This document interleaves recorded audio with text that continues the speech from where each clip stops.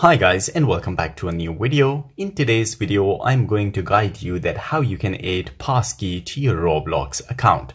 So without wasting any time, let's begin our video. So the first thing you need to do is to open your Roblox application on your device. Once you do so, the next thing you need to do is to tap on the more option at the bottom. Once you tap on the more option, from here, you need to access settings. Once you tap on settings, it will bring you here and then tap on account info.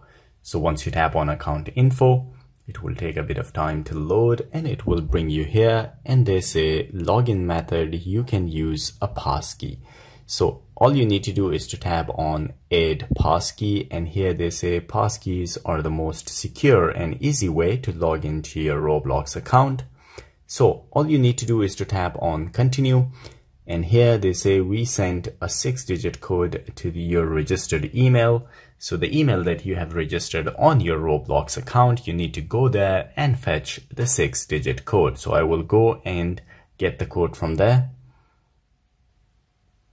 So guys, as you can see, I received a code here. I will copy the code and I will go back to Roblox and I will uh, paste it here.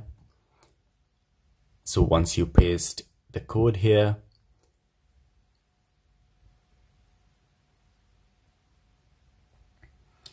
So they say to save a passkey, you need to enable iCloud keychain. So uh, I will turn on iCloud keychain. I have to enable this one.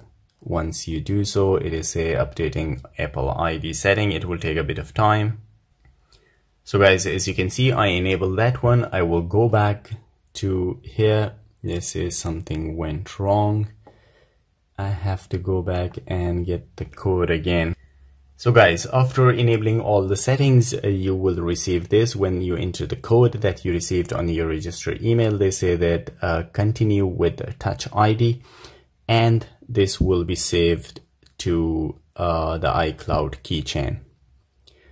And as you can see, passkey created successfully. So I already created the passkey. There is the password I can use to log in or I can use my passkey to log in to my uh, Roblox account. So guys, this is all it takes to add a passkey to your Roblox account. If you like the video, don't forget to subscribe. I will see you in the next video. Till then, take care.